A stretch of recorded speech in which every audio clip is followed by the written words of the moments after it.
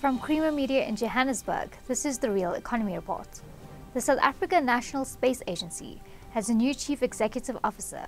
Keith Campbell reports. The new CEO of the South African National Space Agency, or SANSA, is Dr. Val Munsami. He tells us about the agency's plans and programs for this coming year. So, in terms of the year going forward, uh, first of all, just to close off the financial year, in terms of the uh, current annual performance plan that we have to deliver on, which ends on the 31st of March, and then to take a forward looking view in terms of the next financial year, which is which starts on the 1st of April. But even going into the new financial year, we have to pause and look at our strategic mandate and whether we are delivering on that mandate.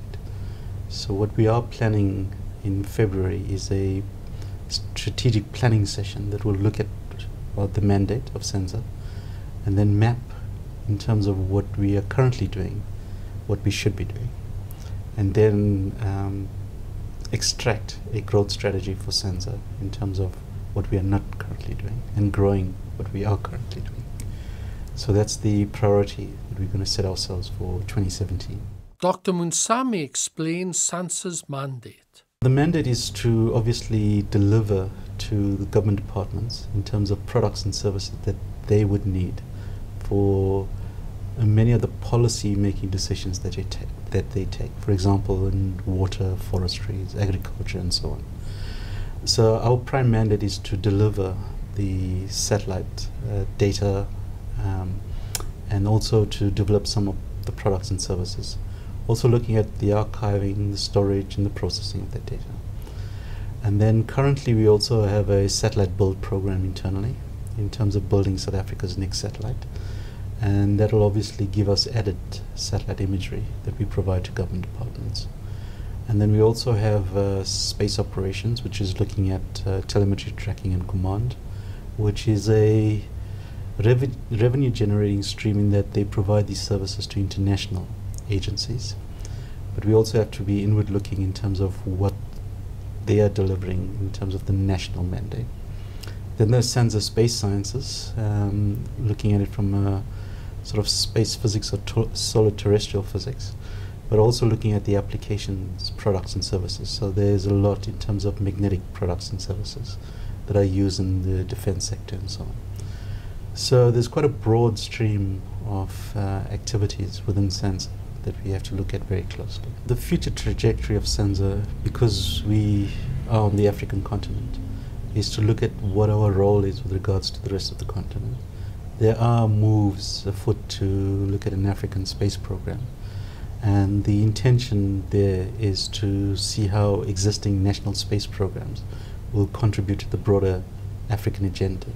So we look at the Agenda 2063, and um, SANSA is optimally positioned from a space science perspective to help deliver on many of the socio-economic challenges in Africa. So we will explore those opportunities as well, working with other African countries and the African Union.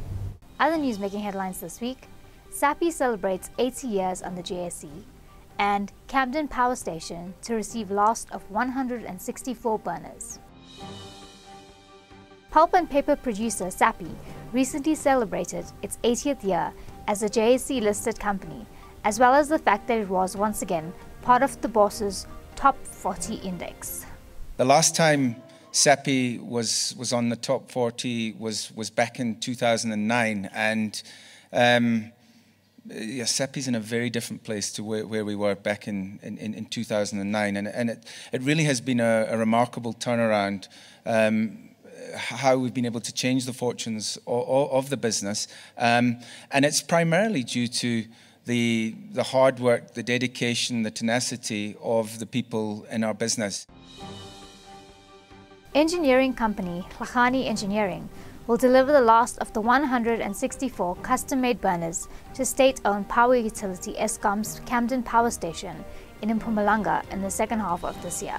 These burners are the first burners which are designed in South Africa and uh, Eskom has the original equipment manufacturing rights to it. So I think despite that, uh, it allows them to go forward in uh, equipping other stations with this new design.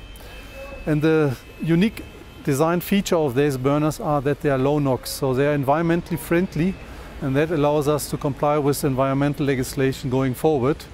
And Eskom can manipulate this design as a need fit and develop it and uh, improve on it. So this is the first of that uh, design burners which we will implement and fabricate in South Africa. That's Creamer Media's Real Economy Report. Join us again next week for more news and insights into South Africa's real economy.